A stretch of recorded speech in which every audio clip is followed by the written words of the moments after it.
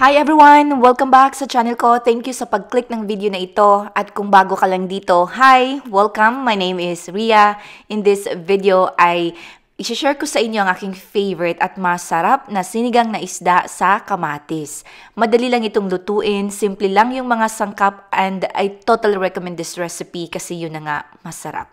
Okay, mag-umpisa na tayo agad sa kung ano yung mga kailangan natin. So dito gumamit ako ng isda, yung silk snapper, ang favorite ko na isda. And then um, isiso natin ito ng asin at ground black pepper. Ginagawa ko ito kasi naalala ko yung nanay ko na kapag nagluluto siya ng isda, um, nilagyan niya talaga muna ng asin at ground black pepper. So, ito yung ginagawa ko. Para may flavor na rin kumbaga yung mismong isda, no? So, kapag nasiso na natin yan lahat, i-set uh, aside lang muna natin ito. Kailangan rin natin dito ng tubig, red onion, ginger, kailangan rin natin ng kamatis, maraming kamatis, Roma tomato yung ginamit ko dito. Green beans, fish sauce, white sugar, lemon juice, ito yung mga pampalasa. Sa sili naman, you can use siling pansigang pero ito gumamit ako ng green chili at jalapeno. Bibi bok choy. Kailangan din natin ng more asin to taste. Okay? Sa lista naman ng mga sangkap, nasa description box yan below this video. Kindly check na lang. So next, kukuha tayo ng pot, lagyan natin ng tubig. Mga 7 to 8 cups ito ng tubig on medium-high heat ito. Okay? Lagay rin natin dito yung red onion at ginger. So takpan natin ito again high heat hanggang sa mag-boil ito.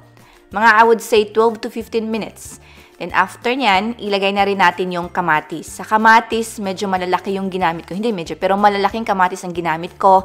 So you can use 3 to 4 kamatis kapag medyo medium lang yung size ng kamatis na gagamitin nyo. So additional 12 minutes. After 12 minutes, this is what it looks like.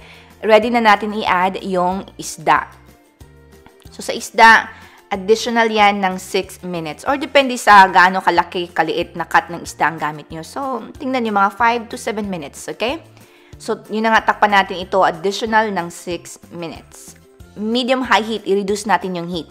Then next, ay ilagay na natin yung green beans, yung lemon juice, yung white sugar, fish sauce, kasi ito yung mga pampalasa. Ayoko rin kasi ng overcooked na gulay, kaya dito, takpan natin ito additional 2 minutes lang.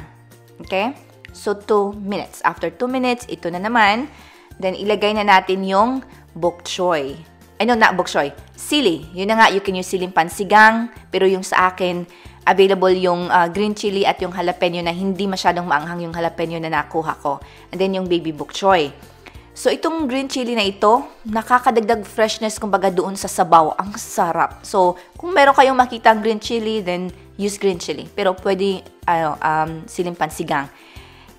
After ko ilagay yung, um, yun na nga, yung bok choy, green chili, at saka yung jalapeno, 2 minutes lang yan. Okay? And then after 2 minutes, tinikman ko ito. Reduce muna natin yung heat while tinitikpan natin ito. Okay?